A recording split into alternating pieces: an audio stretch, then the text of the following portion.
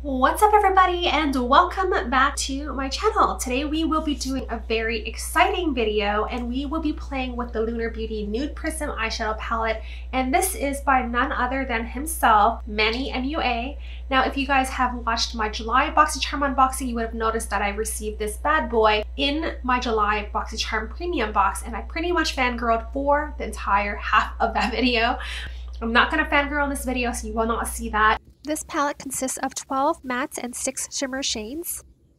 And I'm going to be giving you guys my review after creating an eyeshadow look and it's going to be a very unbiased one. So go ahead and keep on watching and let's dive right into the look.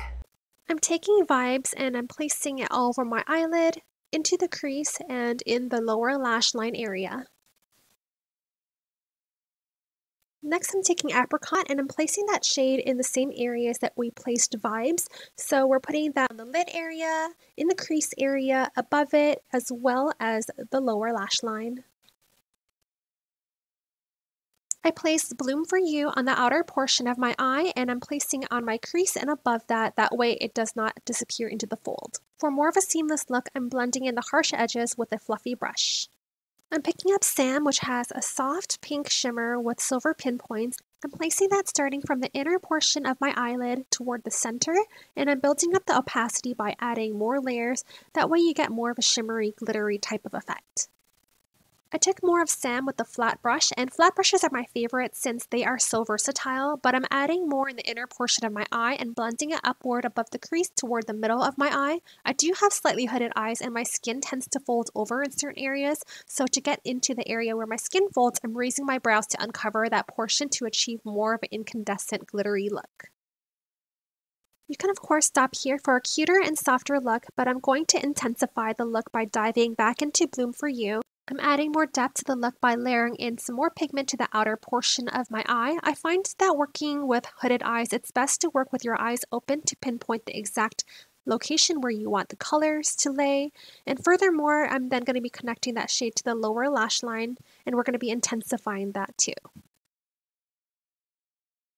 I'm grabbing Cherry Blossom with a fluffy brush and I'm placing it above the Bloom For You shade as I want it to be more on theme with the Cherry Blossom packaging, so I'm adding a hint of pink to the look.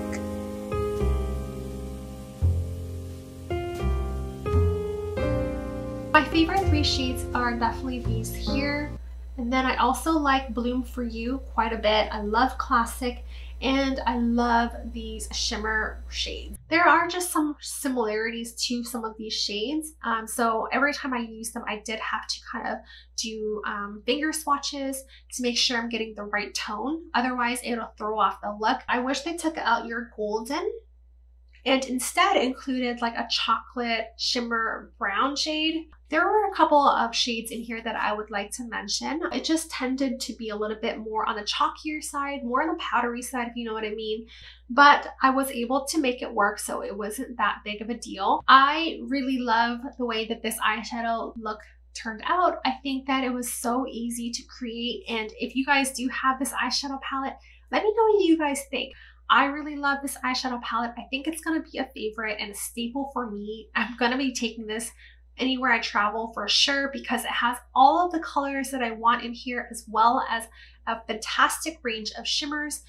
But anyways, that is all from me today, you guys. If you're not yet subscribed to my channel, go ahead and do so and smash that alarm so that way you guys get notifications on my next post. And I'll see you guys in the next video. Have a wonderful rest of the day, you guys. Bye.